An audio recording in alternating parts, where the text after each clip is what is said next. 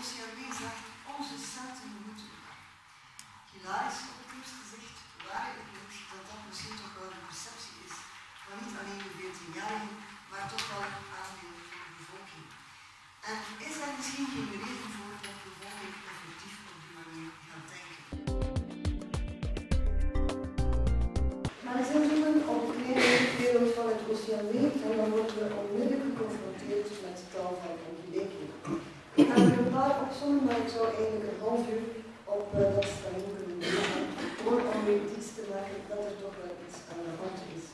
Waarom kan mevrouw E uit uh, gemeente X terecht in de betaalbare woning van het OCMW en in de andere gemeente niet? Waarom is het zo dat twee studenten die thuis het huis laten met duren en verder willen studeren bij gemeente E een leefloon uitgekeerd kregen en toen nog de studies kunnen verder zetten en in een andere gemeente wordt gezegd we gaan de onderhoudsplicht van uw kapitaalkrachtige ouders eerst uitvoeren. Waarom is het mogelijk dat mensen in een gelijkaardige grondwetzetten qua infrastructuur maar ook van zorgverlening de verschillende dagprijs moeten betalen? Waarom is het zo dat er in bepaalde gemeenten nog altijd geen liefdeverhandeld is en in andere gemeenten moet wel moeilijk op dat vlak zijn verantwoordelijkheid op? En zo kan ik nog uren doorgaan, maar ik ga misschien een te vestigen op het feit dat vooral op het vlak van aanvullende steun, dit is de steun die niet federaal of Vlaams gesubsidieerd is, dat op dat vlak de OCMW's eigenlijk een eigen speeltuin hebben en dat in het ene u waarschijnlijk bijgeld krijgt voor de aankoop van een bril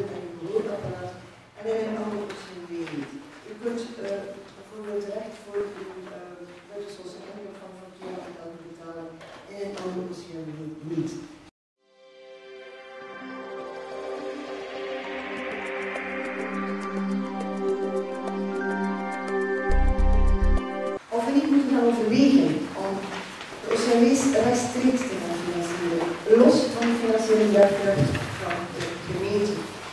Misschien is dat niet voor alle domeinen die ik daarnet opgezond heb het geval. Maar waarom zou dat niet kunnen voor leefloon, voor uh, steun, die dan nog een keer op dezelfde basis moeten uitgekeerd worden? Er zijn tal van uh, domeinen waarbinnen de rechtstreekse financiering zeer zinvol zou zijn. Ik zou even kunnen pleiten om de domeinen van kunst en cultuur een koepelorganisatie. Dus op een hoger niveau, uh, ik spreek mij niet uit op welk niveau dat dan moet zijn, moet dat dan op Vlaams niveau zijn, of eerder provinciaal niveau, uh, omdat de lokale eigenheid misschien toch wel uh, te groot is. De doelstelling van het gemeentebeleid en het nationale was alleszins goed. Hè? Efficiëntieverbeteringen, wij gaan kostenbesparing trekken, we gaan, gaan naar een meer coherent lokaal sociaal beleid, naar een meer individuele dienstverlening van de burger.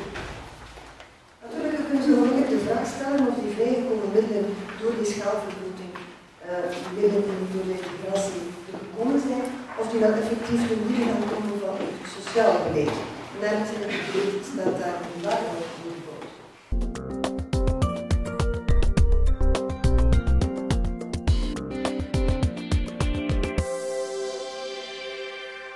Mensen sterker maken.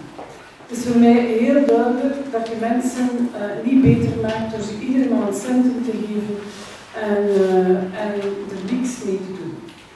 Dus we, zijn echt gaan zoeken hoe het komt dat mensen aan geen werk geraken, aan geen eigen inkomsten geraken.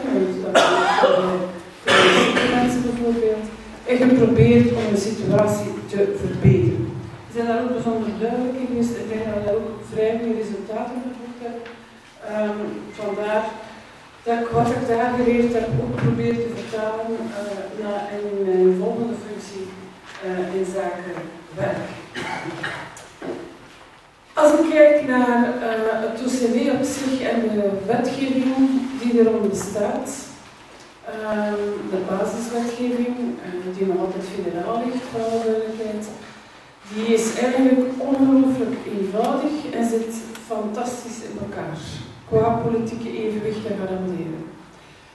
Eigenlijk zegt die, wetgeving, wat moet je nu doen, wat is uw opdracht als OCW? Ervoor zorgen dat iedereen in uw gemeente of in uw stad menswaardig kan leven. En dat is in uh, 75 of zo op die manier geformuleerd. Hè. En dan kun je eigenlijk om de zes jaar, iedere keer als er een nieuwe bestuursperiode is, kun je daarover nadenken. Wat betekent vandaag met zwaarte leven? Wat moet je minimum hebben om in onze maatschappij, in onze stad, in onze gemeente te kunnen functioneren? En dat is overal een ander antwoord. Dat is overal een andere context. En van daaruit kun je heel duidelijk zeggen, iedere zes jaar, mensen waar ik leven, dat betekent dat. Rond wonen, ja, dus sociale rond wonen, rond werken, onderwijs, um, rond cultuur, participatie en cultuur en sport, rond toegang tot het rechtssysteem. Je kunt dat formuleren. Je kunt daar heel concrete doelstellingen aan vastleggen. En eigenlijk kun je binnen die wetgeving heel creatief instrumenten ontwikkelen om die doelstellingen te realiseren. Ik vind dat je als UCMW heel duidelijk moet zeggen waar u uw centen aan besteedt. Wordt ook voortdurend daarover bevraagd. Veel meer dan de stad. Een OCB wordt altijd het financiën veel kritischer bekeken dan de stad. Maar het is inderdaad zo dat er een feit dat er dikwijls een zeer groot cultuurverschil is tussen een OCB en een gemeente of een stad. En hoe komt dat? Omdat er eigenlijk compleet andere finaliteiten zijn en dat die eigenlijk ook een andere uh, dynamiek hebben. Een CD veel meer werkt als een bedrijf. Wij moeten omzet halen, terwijl in een stad een heel veel vlakkere dynamiek heeft.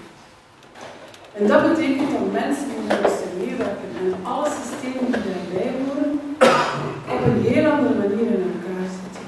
Het is scherp. En vandaar dat, dat de klantgerichtheid, de dynamiek, uh, het, het, willen presteren van meer dan uh, waar je strikt genomen voor betaald wordt, veel sterker is binnen een CD dan in een gemeente, stad, administratie in het algemeen. De dienstverlening is niet voor iedere baan of Vlaming uh, gelijk. Ja, dat is wel het begin en het einde van politiek. Ik bedoel dat we gewoon wel ambtelijk gaan organiseren. Ja, en zeggen voor iedereen gelijk. Politiek is juist mensen kiezen die bepaalde prioriteiten hebben. Wil die politiek in uw gemeente geen klemtoon op persoonlijke dienstverlening op sociaal vlak? Ja, dat is een keuze die gemaakt wordt. Zijn er niet akkoord?